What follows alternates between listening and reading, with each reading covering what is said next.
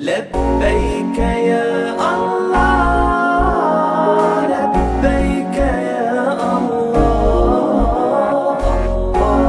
لبيك يا الله لبيك يا الله لبيك يا الله.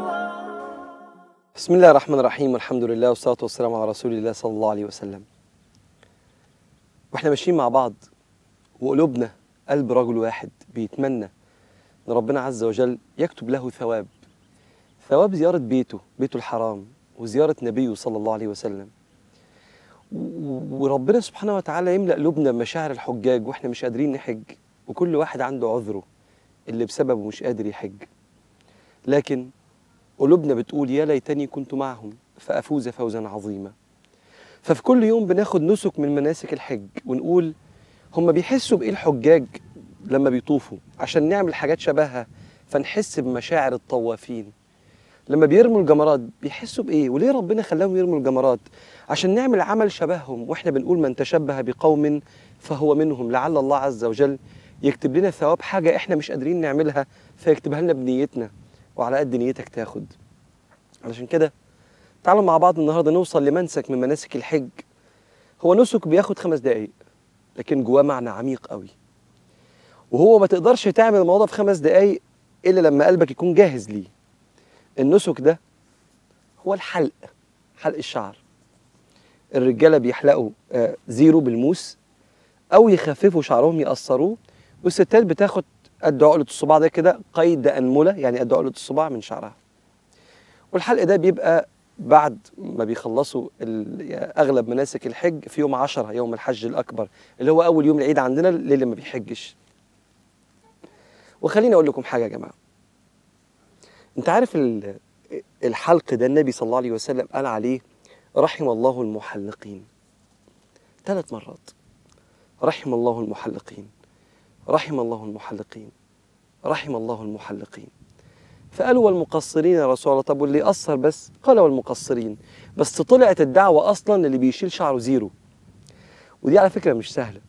مش سهلة لأن الشعر في الآخر يعني تاج شيء من زينة الإنسان. ومزين للإنسان إنه شكله يبقى حلو. فمش الطبيعي إنك أنت تشيل شعرك زيرو بالذات لو شعرك حلو.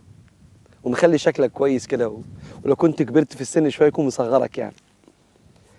لكن الحجاج كأنهم بيعملوا بروفا قبل ما يسافروا ويرجعوا بلدهم. بروفا على إيه؟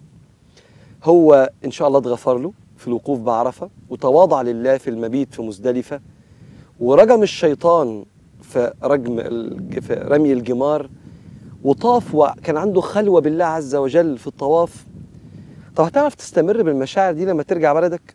أصل الحياة مع الله مبنية على الحب والحب فيه تضحيات لأن في حاجات حرام. الواحد بتعرض عليه. طب تضحي عشان ربنا ولا ربنا ما يسواش في قلبك إنك تضحي عشانه؟ أنت عارف دايما الإنسان بيضحي إمتى؟ لما ألم ألم فراق القرب من ربنا يزيد قوي. يعني أنا لو مثلا في ذنب قدامي لو عملته هحس بالجفاء بيني وبين ربنا. الجفاء ده ألمه كبير قوي. ساعتها أقول لا يا عم مش عايز ده. لكن لو ألم الجفاء بيني وبين ربنا عادي يعني عملت ذنب حسيت بالبعد بيني وبين ربنا عادي يعني. أكن واحد صاحبك بقالك كتير ما كلمتوش عادي. فبعمل الذنب ده وبحس بالبعد وعادي. لكن لما يبقى عندك ربنا كبير قوي تلاقي أي حاجة تصغر في جنب الله عز وجل. عشان كده بكرة لما نروح عند ربنا واحد يكون أثر في حق ربنا ربنا بيقول أن تقول نفس يا حسرت يا حسرة على ما فرطت في جنب الله. فرطت فيك كتير يا رب. واخترت حاجات عليك كتير. فتيجي الحلاقة في الحج يعلمك إزاي تقوم تارك زينة. هي أصلا زينة حلال يا جماعة هو تربية الشعر حرام ولا إيه؟ لا حلال. بس عاملة زي الصيام. ما أنت بتسيب الأكل والشرب والشهوة ودي كلها أشياء حلال بتسيبها في الصيام عشان لما يربيك على ترك الحلال تبقى أقوى على ترك الحرام. فعاملة زي البروفا كده قبل ما ترجع بلدك شيل شعرك. وعلى فكرة شكلهم بيبقى زي القمر. لما تسافر وربنا يكتب لك العمرة أو الحج وبعد المناسك تشوف أغلب الناس ماشية كده إيه أبيض من هنا خالص يعني خضرا لأنها منورة بالحلاقة بالموس الزيرو ده. تعرف إن هو بعد ما خلص المناسك قال له تؤمر بإيه تاني يا رب؟ آه، أرمي إيه تاني من متاع الدنيا بس أنت ترضى؟ فيقول له شعرك حاضر يا رب. وعلى فكرة من رحمة ربنا إن هو يعني برضه هو طلب يعني إلى حد ما يعني مش معجز للبني آدم يعني الشعر يتشال زيرو الا يحصل يعني. بس هو بيمرنك وخلاص.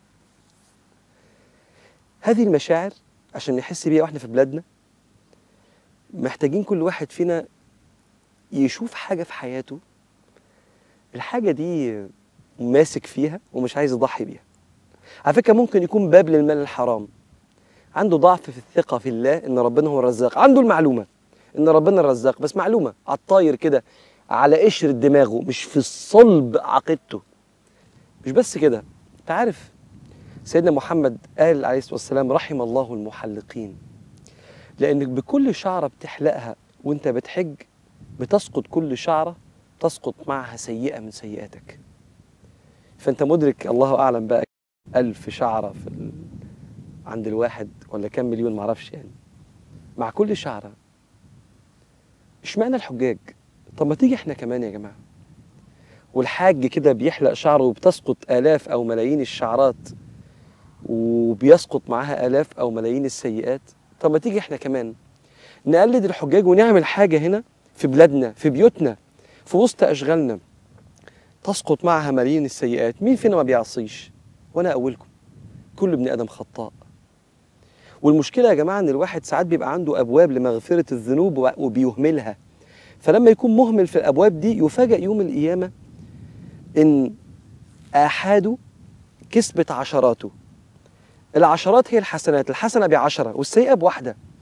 فخسران ومحروم.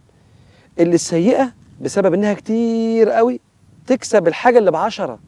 فلأنه عامل مليون سيئة وعامل ألف حسنة فالألف بقت عشرة آلاف والمليون زي ما هي. فخد بالك من المسألة دي. تعالى مع بعض دلوقتي أفكركم بحاجات نعملها نشيل بيها سيئاتنا زي ما الشعر بيشيل السيئات لما بيحلقها لما بيحلق الحاج.